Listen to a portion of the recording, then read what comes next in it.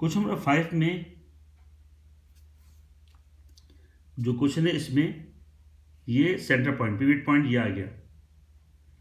अब यहाँ पर एक फोर्स ये शो किया थ्री न्यूटन एक फोर न्यूटन और एक यहाँ पर अप्लाई की है तीन फोर्सेस अप्लाई हो रही है।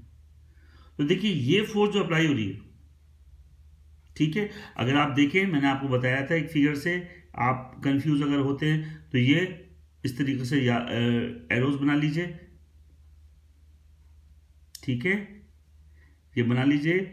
ये एरोज शो करेंगे क्लॉकवाइज ये कहाँ आएँगे? क्लॉकवाइज तो ये ये ये इस तरीके से क्लॉकवाइज मूव कर रहा है।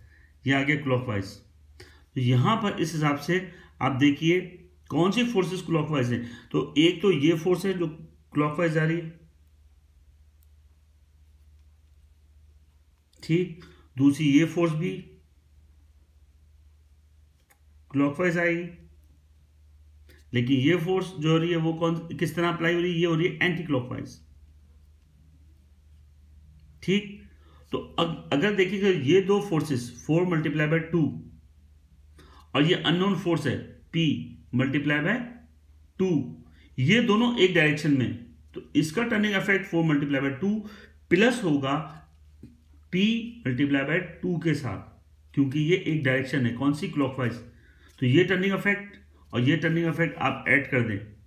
ये तो दोनों टर्निंग इफ़ेक्ट इक्वल होंगे किसके?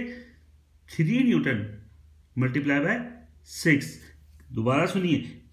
थ्री मल्टीप्लाई बाय सिक्स जो एंटी क्लॉकवाइज तो ये आ गया आपके पास anti clockwise three multiply by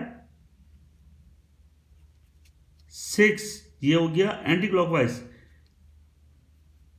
ये इक्वल होगा, ये नीचे देखिए, मैंने इसको लिख दिया anti clockwise three multiply by six ये इक्वल होगा क्लॉकवाइज मूवमेंट क्लॉकवाइज मूवमेंट कौन से है? मैंने अभी आपको बताया four multiply by two four multiply by two plus P multiply by two तो ये four multiply by two plus P multiply by two अब इसको कैलकुलेट करेंगे एट इसमें से सब्ट्रैक्ट होगा तो एट सब्ट्रैक्ट होगा, आपके पास वैल्यू टेन आ जाएगी और जो प्रोडक्ट यहाँ पे रह गया था टू वो प्रोडक्ट की वैल्यू डिवाइड होकर टोटल आंसर आ जाएगा फाइव न्यूटन तो इस तरीके से इसमें ऑप्शन नंबर ए करेक्ट है। ऑप्शन ए जो है इसका करेक्ट आंसर है। Question number five